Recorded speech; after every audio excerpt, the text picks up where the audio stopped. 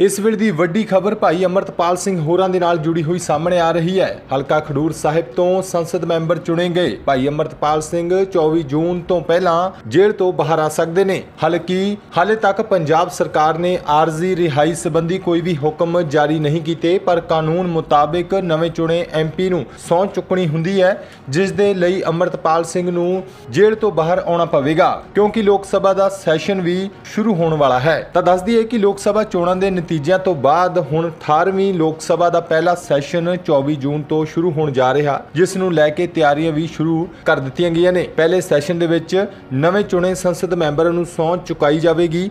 Session ਦੇ ਪਹਿਲੇ 3 ਦਿਨਾਂ ਵਿੱਚ ਨਵੇਂ ਚੁਣੇ ਗਏ ਮੈਂਬਰ ਸਹੁੰ ਚੁੱਕਣਗੇ ਅਤੇ ਸਦਨ ਦੇ ਸਪੀਕਰ ਦੀ ਚੋਣ ਕੀਤੀ ਜਾਵੇਗੀ। ਸੈਸ਼ਨ 3 ਜੁਲਾਈ ਨੂੰ ਸਮਾਪਤ ਹੋਵੇਗਾ। ਇਸ ਦੇ ਨਾਲ ਹੀ ਸੂਤਰਾਂ ਦੇ ਹਵਾਲੇ ਤੋਂ ਦੱਸਿਆ ਜਾ ਰਿਹਾ ਹੈ ਕਿ ਰਾਸ਼ਟਰਪਤੀ ਦ੍ਰੋਪਦੀ ਮੁਰਮੂ 27 ਜੂਨ ਨੂੰ ਲੋਕ ਸਭਾ ਅਤੇ ਰਾਜ ਸਭਾ ਦੀ ਸਾਂਝੀ ਬੈਠਕ ਨੂੰ ਸੰਬੋਧਨ ਕਰਨਗੇ ਅਤੇ ਨਵੀਂ ਸਰਕਾਰ ਦੇ ਅਗਲੇ 5 ਸਾਲਾਂ ਦੇ ਕੰਮ ਦੀ ਰੂਪਰੇਖਾ ਪੇਸ਼ ਕਰਨਗੇ। ਇਸ ਤੋਂ ਇਲਾਵਾ 264ਵੀਂ ਰਾਜ ਸਭਾ ਦਾ ਸੈਸ਼ਨ 27 ਜੂਨ ਤੋਂ ਸ਼ੁਰੂ ਹੋਵੇਗਾ। ਅਜਿਹੇ ਚ ਖਡੂਰ ਸਾਹਿਬ ਤੋਂ ਸੰਸਦ ਮੈਂਬਰ ਚੁਣੇ ਗਏ ਭਾਈ ਅਮਰਤਪਾਲ ਸਿੰਘ ਨੂੰ ਵੀ ਸੰਸਦ ਵਿੱਚ ਸ਼ਾਮਲ ਹੋਣਾ ਪਵੇਗਾ। ਪੰਜਾਬ ਦੇ ਵਿੱਚ ਸਭ ਤੋਂ ਵੱਧ ਵੋਟਾਂ ਹਾਸਲ ਕਰਨ ਵਾਲੇ ਸਿਰਫ ਭਾਈ ਅਮਰਤਪਾਲ ਸਿੰਘ ਹੀ ਹਨ ਅਤੇ ਸਭ ਤੋਂ ਵੱਧ ਅੰਤਰ ਨਾਲ ਵੀ ਭਾਈ ਅਮਰਤਪਾਲ ਸਿੰਘ ਨੇ ਚੋਣ ਜਿੱਤੀ ਹੈ। ਫਿਲਹਾਲ ਅਮਰਤਪਾਲ ਸਿੰਘ ਅਸਾਮ ਦੀ ਦਿਬੜੂਗੜ੍ਹ ਜੇਲ੍ਹ ਦੇ ਵਿੱਚ ਬੰਦ ਨੇ ਐਨਐਸਏ ਦੇ ਤਹਿਤ ਅਮਰਤਪਾਲ ਸਿੰਘ ਅਤੇ ਉਹਨਾਂ ਦੇ 9 ਸਾਥੀ ਦਿਬੜੂਗੜ੍ਹ ਜੇਲ੍ਹ ਦੇ ਵਿੱਚ ਬੰਦ ਨੇ। ਹਾਲੇ ਤੱਕ ਅਮਰਤਪਾਲ ਸਿੰਘ ਦੀ ਰਿਹਾਈ ਸੰਬੰਧੀ ਪੰਜਾਬ ਸਰਕਾਰ ਨੇ ਕੋਈ ਫੈਸਲਾ